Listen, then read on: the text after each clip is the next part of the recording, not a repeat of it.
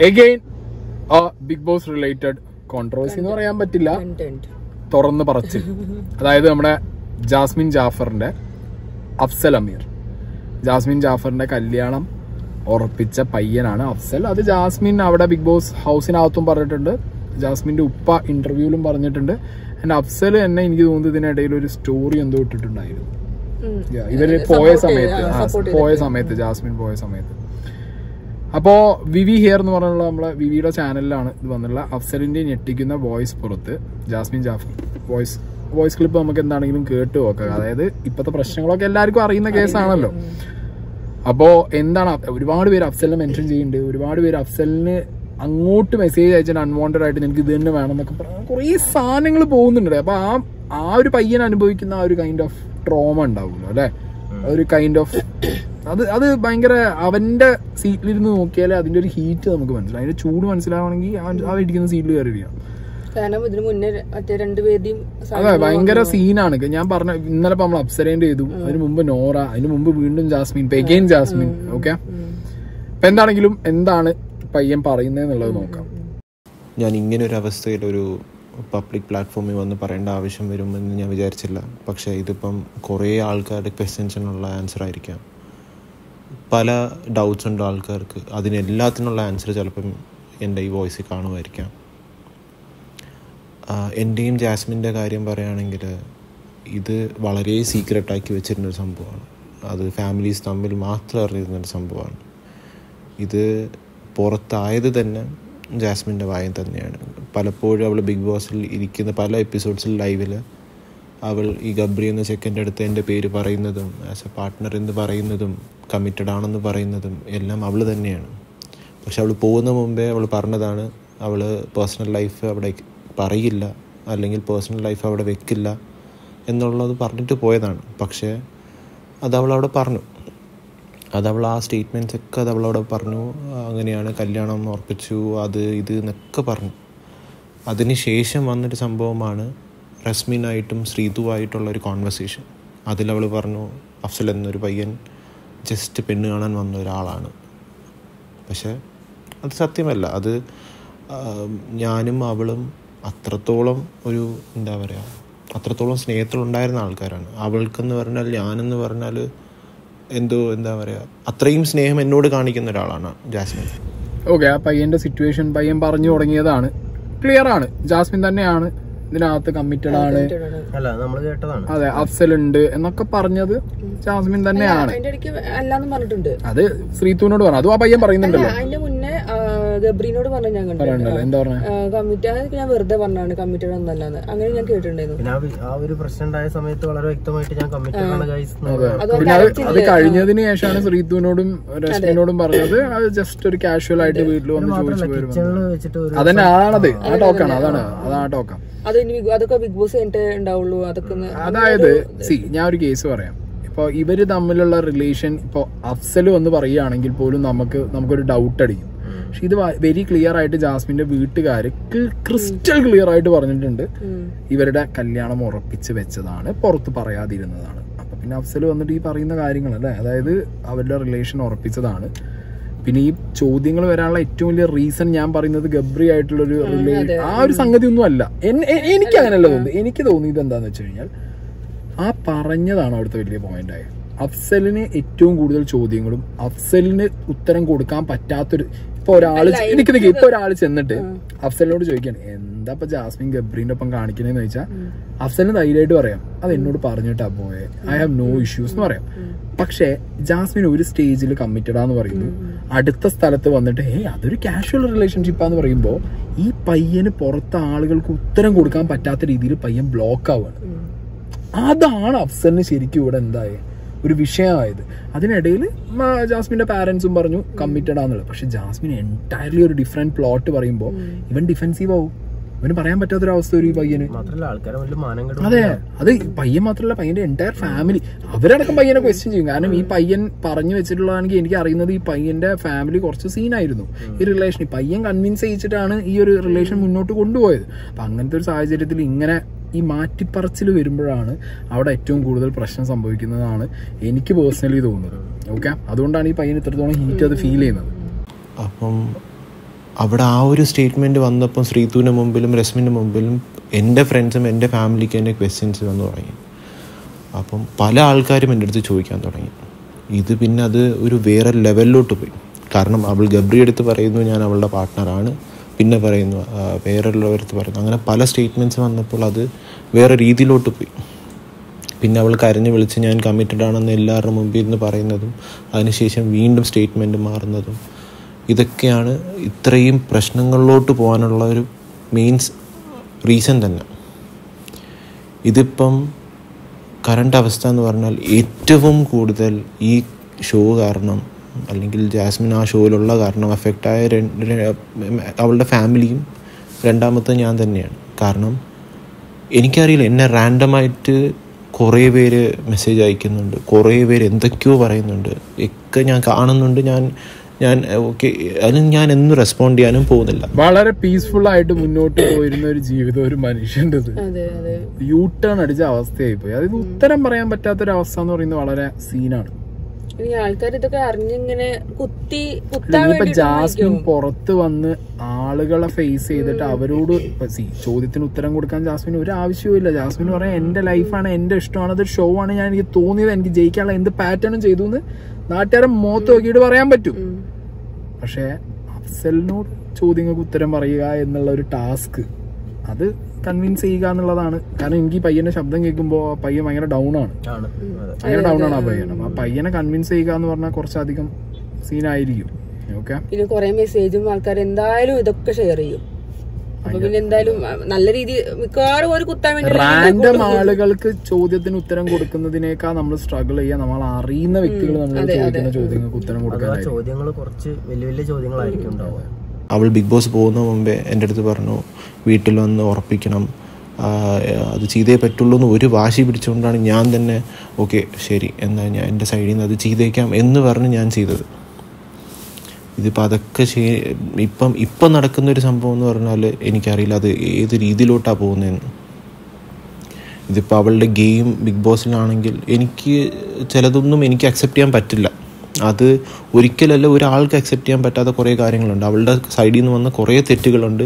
അതൊരിക്കലും ആർക്കും അക്സെപ്റ്റ് ചെയ്യാൻ പറ്റില്ല എന്ന് എനിക്കറിയാം. പിന്നെ അവൾ പോകുന്ന മുമ്പ് എന്നോട് പറഞ്ഞിട്ടുണ്ടായിരുന്നു കോമ്പോസ് വരാൻ അല്ലെങ്കിൽ പല ആൾക്കാർ പലതും പറയും. അതൊന്നും പോയി റിയാക്ട് ചെയ്യാൻ പോവരുത്. അല്ലെങ്കിൽ ഒന്നും ചെയ്യാൻ പോവരുത് എന്ന് പറഞ്ഞിട്ടുണ്ടായിരുന്നു. പക്ഷെ അത് ഞാൻ റിയാക്ട് ചെയ്യില്ലായിരുന്നു. ഇപ്പോഴും ഞാൻ റിയാക്ട് ചെയ്യില്ലായിരുന്നു.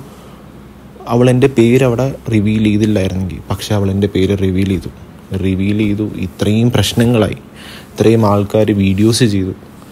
പിന്നെ ഞാൻ വിചാരിച്ചു ഇത്രയും ഇത്രയും കാരണം എല്ലാത്തിന്റെതും കൂടെ എന്റെ ഇതിലോട്ടാണ് വരുന്നത്. എവിടെയോ അഫ്സലിന് ഒരു ഹിന്റ് ജാസ്മിൻ കൊടുത്ത പോലെ തോന്നുന്നു തോന്നുന്നുണ്ട് അതെ പ്രീ ആണ്. അതെ. അതായത് കോംബോ.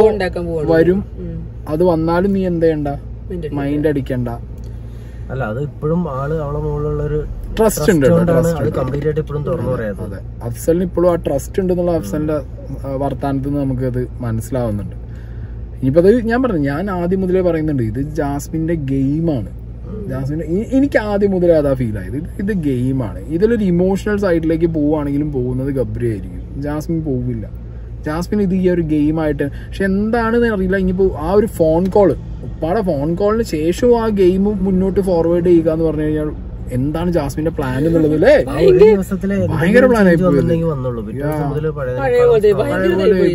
അത്. അത് സത്യം പറഞ്ഞാൽ അത് ആ വീട്ടിലുള്ള ആളുകൾ ഫെയിലിയർ ആയി എന്നേ ഞാൻ പറയുള്ളൂ. അവർക്കൊരു ഗോൾഡൻ ചാൻസ് ആയിരുന്നു. ഗോൾഡൻ ഓപ്പർച്യൂണിറ്റി ആയിരുന്നു അത്. അത് പക്ഷേ വേറെ കാര്യമുണ്ട്. വേറെ കേസും ഉണ്ട് വീട്ടിലുള്ളവർ ചിലപ്പോ ഇങ്ങനെ വിചാരിച്ച് കാണും. രണ്ടാളും കൂടി ഒരു സൈഡിൽ പോവാണെന്നുണ്ടെങ്കിൽ ആ രണ്ടെണ്ണം പോയി കിട്ടി അങ്ങനെ അങ്ങനെ അങ്ങനെ വിട്ടതായിരിക്കാം. പക്ഷെ കഴിഞ്ഞ രണ്ട് ടാസ്ക് ആയപ്പോ ഒരു കാര്യം ശ്രദ്ധിക്കണം.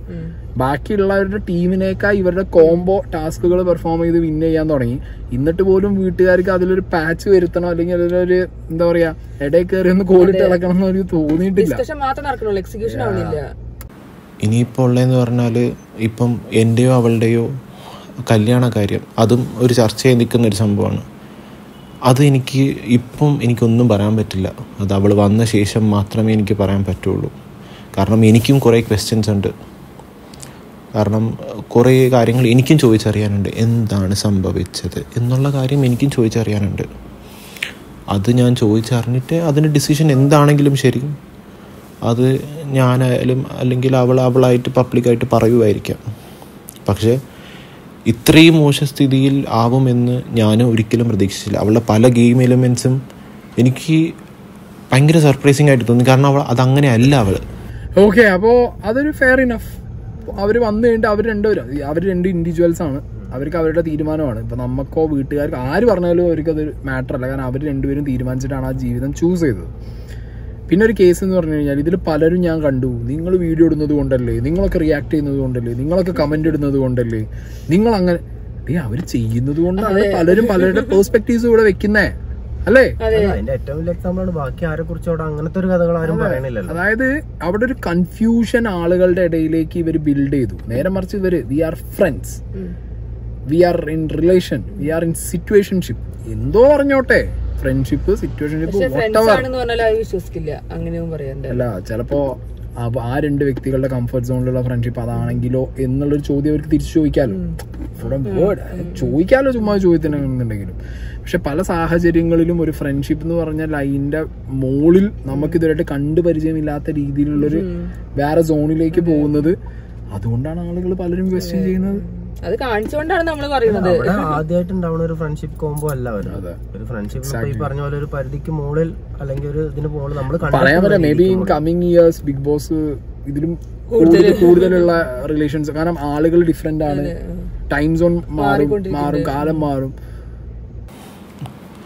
അവൾ അങ്ങനെ അല്ലാത്തതുകൊണ്ടാണ് കാരണം പല പല പല എലിമെന്റ്സ് അവൾ കാണിക്കുന്നത് അങ്ങനെ അല്ല പക്ഷെ അത് ഗെയിമിന്റെ ഭാഗമാണെന്ന് പറയുകയാണെങ്കിൽ അത് എനിക്ക് ഒട്ടും അക്സെപ്റ്റ് ചെയ്യാൻ പറ്റാത്ത സംഭവമാണ്. പിന്നെ ഇത് എന്താണെന്ന് വെച്ചാൽ ഉള്ളത് വരട്ടെ എന്ന് ഞാൻ വിചാരിക്കുന്നു. ഇനിയിപ്പം എനിക്കറിയില്ല. ഞാനിപ്പോഴും അതിന് വീണ്ടും അല്ലെങ്കിൽ ആൾക്കാർ എന്നോട് ചോദിക്കുമ്പോൾ റിയാക്ട് ചെയ്യാൻ പോവാത്തത് അവൾ പോകുന്ന മുമ്പ് എനിക്കൊരു വാക്ക് തന്നിട്ട് പോയി. ഞാൻ തിരിച്ചു വരുമ്പോൾ നിങ്ങളെടുത്തേ വരുള്ളൂ എന്നൊക്കെ വാക്ക് തന്നിട്ട് പോയ ആളാണ്. ആ ഒരു വാക്കാണെങ്കിലും എന്താണെങ്കിലും ശരി. ആ ഒരു പ്രോമിസ് എനിക്ക് തന്നിട്ട് പോയതിന് ഞാൻ നിൽക്കും നിൽക്കും എന്ന് പറഞ്ഞാൽ അവൾ വരുന്നവരെ ഇതിന് ഞാൻ ഒന്നും പറയില്ല.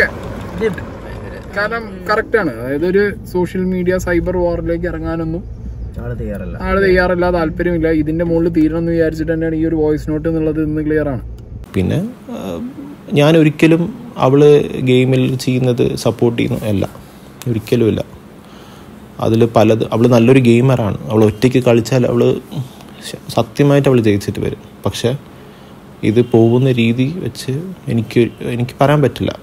ഷോയിൽ കയറുന്ന മുമ്പേ അവസാനമായിട്ട് വിളിച്ചത് തന്നെയാണ്. അപ്പം ഞാനും കുറേ കാര്യങ്ങൾ അതിപ്പം കുറേ ദിവസങ്ങളായിട്ട് പറഞ്ഞു കൊടുക്കുന്നുണ്ടായിരുന്നു. ഞാൻ ബിഗ് ബോസ് കാണാത്തൊരു വ്യക്തിയാണ്. പക്ഷേ എന്നിട്ടും നമുക്ക് അറിയുന്നത് വെച്ച് ഞാൻ പറഞ്ഞു കൊടുത്തിട്ടുണ്ടായിരുന്നു. അല്ലെങ്കിൽ അവളുടെ ഫാമിലിയും ഫ്രണ്ട്സും എല്ലാവരും പറഞ്ഞു കൊടുത്തണം ഒറ്റയ്ക്ക് നിന്ന് കളിക്കണം. ഒറ്റയ്ക്ക് നിന്ന് തന്നെ മാത്രം തന്നെ കളിക്കണം. ആരെയും വിശ്വസിക്കരുത്. നമുക്ക് എന്താ ചെയ്യാം? നമുക്ക് പറയാൻ പറ്റില്ല. ഔട്ട് എങ്ങനെയാണ് വരിക എന്നുള്ള കാര്യം പോലും നമുക്ക് പറയാൻ പറ്റില്ല. കാരണം ഈ ഒരു ഈ ഒരു ഷോയിൽ ഒരു പ്രത്യേകത എന്ന് പറഞ്ഞാൽ മാക്സിമം പോസിറ്റീവ് ആയിട്ടും വരാം. മാക്സിമം നെഗറ്റീവ് ആയിട്ടും വരാം. ഇപ്പോൾ ഇവളുടെ കേസിൽ സംഭവിച്ചുകൊണ്ടിരിക്കുന്നത് ഇവൾ മാക്സിമം നെഗറ്റീവായിട്ട് വന്നുകൊണ്ടിരിക്കുന്ന ഒരു സംഭവം ഓക്കെ അപ്പോ സ്ട്രോങ് ഡിസ്കഷൻസ് എന്തായാലും നടന്നിട്ടുണ്ട് അല്ലേ? ജാസ്മിനും ഈ പയ്യനും തമ്മിൽ വളരെ സ്ട്രോങ് ആയിട്ടുള്ള ഡിസ്കഷൻസ് ബിഗ് ബോസിൽ പോകുന്നതിന് മുമ്പ് ആ റിലേഷൻ ഉറപ്പിക്കാൻ വേണ്ടിയിട്ടാണ് ആ വീട്ടുകാരായിട്ട് സംസാരിക്കാൻ പറഞ്ഞത്. സോ ഇതൊക്കെ വെച്ച് നിങ്ങൾ നോക്കുമ്പോൾ നിങ്ങളൊന്ന് ആലോചിച്ച് നോക്കുക ആ പയ്യൻ പുറത്തിരുന്നിട്ടില്ലേ? കാരണം അത് അപ്പോഴുള്ള സുഹൃത്തുക്കൾക്കും ഫാമിലിക്കും അറിയണ്ടാവില്ല. അപ്പൊ എന്തായാലും ചോദ്യങ്ങൾ വരും. ഒരുപാട് ചോദ്യങ്ങൾ ചുറ്റും വരുമ്പോൾ മറുപടി പറയാൻ പറ്റാത്ത ആൾ ശരിക്കും നല്ലോണം കുടുങ്ങുണ്ടാവും പിന്നെ അങ്ങനെ എല്ലാന്ന് പറയാനും പറ്റുന്നുണ്ടാവില്ല. കാരണം സ്ക്രീനിൽ പിറ്റേ ദിവസം വേറൊരു ഭാഗമല്ല കാണുന്നത്. പിന്നെ ജാസ്മിൻ എന്ന് പറഞ്ഞാൽ അവൾ അവിടെ പോയിട്ട് അവൾ ഒറ്റയ്ക്കല്ലാതെ അവൾ അവിടെ പോയിട്ട് എല്ലാം പറഞ്ഞു കൊടുത്തതെല്ലാം മറന്നുപോയി. എന്താന്ന് ഒരു പിടിയില്ല. അവൾ ക്യാമറ ഉണ്ടെന്നുള്ളൊരു ഇതുണ്ടോ? പുറത്ത് എന്താണെന്നുള്ളൊരു സംഭവം ഉണ്ടോ? ഒന്നും അവൾക്ക് ഒരു ബോധമില്ലാതെ ആണ് അവൾ അവിടെ എന്തൊക്കെയോ ചെയ്യുന്നുണ്ട്? നമുക്ക് പോലും അറിയില്ല അതെന്താ ചെയ്യുന്നതെന്ന്. അവൾ ചില ചില ചില രീ ചിലത് ലൈവിൽ കാണുമ്പം ഞാൻ തന്നെ ഭയങ്കര സർപ്രൈസിങ് ആയിട്ട് ഇത് എന്താ കാണിക്കുന്നത് എന്നുള്ളൊരു സംഭവമുണ്ട്. ഇതിപ്പോൾ ജാസ്മിൻ പുറത്തിറങ്ങുമ്പോഴേ മനസ്സിലാവുള്ളൂ അവൾക്ക് പുറത്തുള്ളൊരു ജീവിതം ഉണ്ടായിരുന്നു. പുറത്ത് അവൾക്ക് ഫാമിലി ഉണ്ട്. പുറത്ത് അവളുടെ റിലേഷൻഷിപ്പ് ഉണ്ട് പുറത്ത് അവളുടെ ഫ്രണ്ട്സ് ഉണ്ട് അങ്ങനെ കുറേ കാര്യങ്ങൾ അവൾക്ക് പുറത്ത് ഇറങ്ങുമ്പോൾ മാത്രമേ ആ റിയലൈസേഷൻ വരുള്ളൂ. അവളുടെ ഫാമിലിയുടെ ഇപ്പോഴത്തെ അവസ്ഥ അല്ലെങ്കിൽ ഞാൻ അത് കണ്ടുകൊണ്ടിരിക്കുന്ന ഒരാളാണ് അത് ഒട്ടും നല്ലൊരവസ്ഥയല്ല. ഇപ്പം ഞാൻ അതേപോലെ തന്നെയാണ് എന്റെത് എനിക്കെന്ന് പറഞ്ഞാൽ എല്ലാം സൈഡിൽ നിന്നുള്ള പ്രഷറുണ്ട് എനിക്ക് പല ആൾക്കാർക്ക് ആൻസറബിളാണ് എനിക്ക് എന്ത് ചെയ്യണം എന്നുള്ളൊരു ഒരു ഐഡിയ ഇല്ലാതെ നിൽക്കുന്ന ഒരാളാണ് ഞാൻ. അവളുടെ അത്തയ്ക്ക് വയ്യ എന്നുള്ള കാര്യം അത് അത് അവൾക്ക് അവളുടെ മനസ്സിൽ കാണുമായിരിക്കും. പക്ഷെ അത് പുറത്ത് കാണുന്നു അല്ല ഒന്നും അത് എന്താന്ന് ഒരു പിടിയും കിട്ടുന്നില്ല.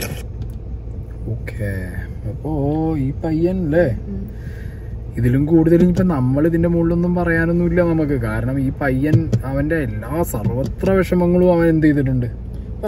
പറഞ്ഞൊരു വഴിക്കാക്കിയിട്ടുണ്ട്. അതായത് അവൻ ഇനി ഇതിന് മുകളിലൊന്നും പറയാനില്ല. അവൻ കംപ്ലീറ്റ് ആയിട്ട് അത്രയും അവന്റെ ആ ഡെസ്പറേറ്റ് വോയിസ് നമുക്ക് എന്താണെങ്കിലും നമുക്കത് മനസ്സിലാവും. ഇതിപ്പോ എന്താ നമ്മ നമുക്കൊന്നും ചെയ്യാൻ പറ്റില്ല. നമ്മളൊക്കെ ഇപ്പൊ ഈ പറഞ്ഞ മാതിരി സി ഇപ്പൊ ഞാൻ വേറെ കേസ് പറയാം. പലരും വിചാരി ഞാനും തുടക്കത്തിൽ ഞാൻ- പലരും എന്ന് പറയുന്നില്ല. ഞാനും തുടക്കത്തിൽ വിചാരിച്ചൊരു കേസ് എന്ന് പറഞ്ഞു കഴിഞ്ഞാൽ individually these two people are very strong strong players ആര്? ജാസ്മിനും ഗബ്രിയും. പക്ഷെ ഞാൻ ഇപ്പൊ റിയലൈസ് ചെയ്യുന്ന ഒരു കാര്യം ഇവർ കൂടി നിന്നപ്പോഴാണ് they're much stronger they're much stronger shrewd രണ്ടാളെ ബുദ്ധിയും വർക്ക് ചെയ്യുന്നു. ഒരാൾ ഒരാൾക്ക് വേണ്ടി സംസാരിക്കുന്നു. That is a brilliant plan അവർ രണ്ടുപേരും ഒന്നിച്ചു നിന്നതൊരു പ്ലാൻ ആണെന്നുള്ളത് എനിക്ക് ഈ രണ്ട് മൂന്ന് ദിവസത്തെ ടാസ്കും അവർ ജയിച്ച രീതിയും അവരത് എക്സിക്യൂട്ട് ചെയ്യുന്ന രീതിയും ഈവൻ ഓരോ ടാസ്ക് വരുമ്പോൾ പവർ റൂമിൽ ആരെ കയറ്റണം. ക്യാപ്റ്റൻസിയിൽ ആര് വരണം? The manipulate the talk the execute ശരി പ്രശ്നമുണ്ട്. ആ പ്ലാനിന് എന്തെങ്കിലും ഒരു വിടവ് വന്നു കഴിഞ്ഞിട്ടുണ്ടെങ്കിൽ അത് ഭയങ്കരമായിട്ട് വഷളാവും അല്ല ഇവർ രണ്ടുപേരും മാറിക്കഴിഞ്ഞാൽ ഇൻഡിവിജ്വൽ ആയിട്ട് കളിക്കാൻ പറ്റും കുറച്ച് കാരണം ഞാൻ പറയാം നോറ പോലത്തെ ഒരു ക്യാരക്ടർ തന്നെയായിരിക്കണം ജാസ്മിൻ. കുറെ പൊട്ടിത്തെറിക്കുന്നല്ലാതെ അപ്പുറത്ത് പോയിരുന്ന് കരയും. പക്ഷെ ഇപ്പൊ ഗബ്രി ഉള്ളതുകൊണ്ട് കരയുമ്പോ തോൾ കിട്ടും അതന്നെയാണ് അവൾ വീഡിയോയിൽ ഇതിലെപ്പോഴും പറയണത് എപ്പിസോഡിലൊക്കെ പറയുന്നത്. അവിടെ അതാണ് സംഗതി നടന്നുകൊണ്ടിരിക്കുന്നത്. അല്ലേ? പക്ഷെ ഈ ചെക്കന്റെ അവസ്ഥ പറഞ്ഞിട്ട് കാര്യമില്ല. അവരവിടെ ഗെയിം കളിക്കുന്നു. കപ്പ് ലക്ഷ്യം അവർക്ക് അങ്ങനെ അങ്ങനെ മുന്നോട്ട് പോകുമ്പോൾ ഈ ചെക്കൻ ലൈഫ് എന്തെങ്കിലും ഇനി എത്ര കാലം ഇങ്ങനെ നടക്കുന്ന അറിയാൻ നിൽക്കുന്നു. ബട്ട് എല്ലാം ഒരു അടിപൊളിയായിട്ട് എൻഡ് ആവട്ടെ അല്ലേ? Game is game yeah game is game അല്ല ഇയാൾക്ക് ഇത്രയും മാത്രമൊക്കെ ഭയങ്കരമായ ഒരു ഇഷ്ടത്തിലൊക്കെയാണ് ആൾ സംസാരിക്കുന്നത്. അത്രയൊക്കെ ഉണ്ടെന്നുണ്ടെങ്കിൽ അവർക്ക് അങ്ങോട്ടും പറഞ്ഞു ക്ലിയർ പറഞ്ഞ് ക്ലിയർ ആവുന്ന പ്രശ്നമേ ഉള്ളൂ. ഇത് പറഞ്ഞാൽ തീരേണ്ട കാര്യമേ ഉള്ളൂ. ഓക്കെ പിന്നെന്താ പറയുക കുറെയൊക്കെ സോഷ്യൽ മീഡിയ എന്ന് പറഞ്ഞാൽ കാണുക ഇഗ്നോർ ചെയ്യുക. കാണുക ഇഗ്നോർ ചെയ്യുക. ഡോണ്ട് മൈൻഡ് അത്. ഇവിടെ എടുത്താലാ പ്രശ്നം. ഇവിടെ ഇവിടെ എടുത്ത് ഇവിടെ ഇവിടെ എടുത്തു കഴിഞ്ഞാൽ ഇവിടെ എടുത്താൽ ഓവർ തിങ്ക് ചെയ്യും. ഇവിടെ എടുത്തു കഴിഞ്ഞാൽ നെഞ്ചു പൊട്ടിച്ചാ അതൊരു കാര്യ അല്ലേ? അത്രേ പറയാനുള്ളൂ.